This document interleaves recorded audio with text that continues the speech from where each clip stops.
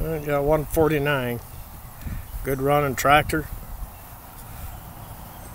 Lights all work. Charges good. Tail lights are in good shape.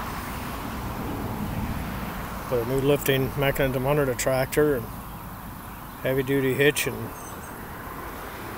trailer adapter for a ball and for pulling the utility trailer.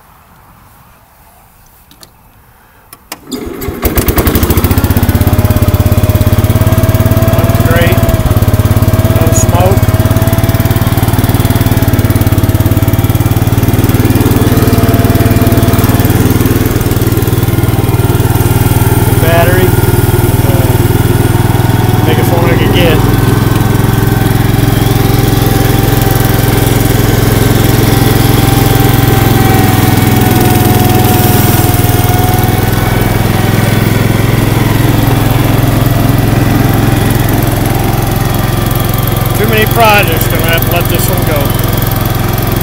Everybody have a good day, and I put a new drive shaft, donuts, and fan. The thing that isn't working is